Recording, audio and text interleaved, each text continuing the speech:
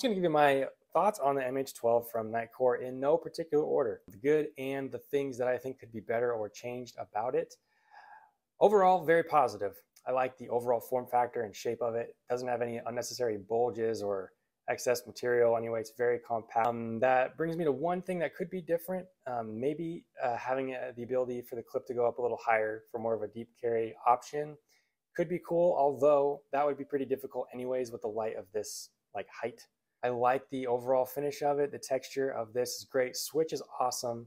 User interface is good enough. This port cover is the best port cover I've ever seen because it has a layer of plastic on the on the outer part. And so it helps it hold its shape really well and get a great seal. The thermal regulation, you know, if it is kicking in, it, it still lets the light get very hot. Can't forget the battery. Awesome battery.